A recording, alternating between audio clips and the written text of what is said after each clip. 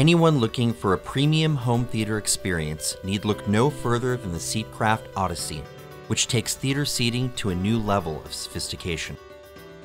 This sleek design incorporates genuine bonded leather for a look and feel reminiscent of top grain leather at an outstanding value. The contemporary look of the seat is abetted by a power adjustable headrest, which allows you to find the upper body position that's just right for your individual needs with a simple push of a button.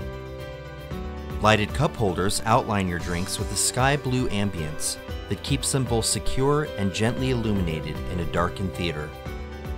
In addition, each armrest opens out to reveal spacious storage compartments perfect for the placement of remotes, reading materials, or other items without ever having to leave your seat.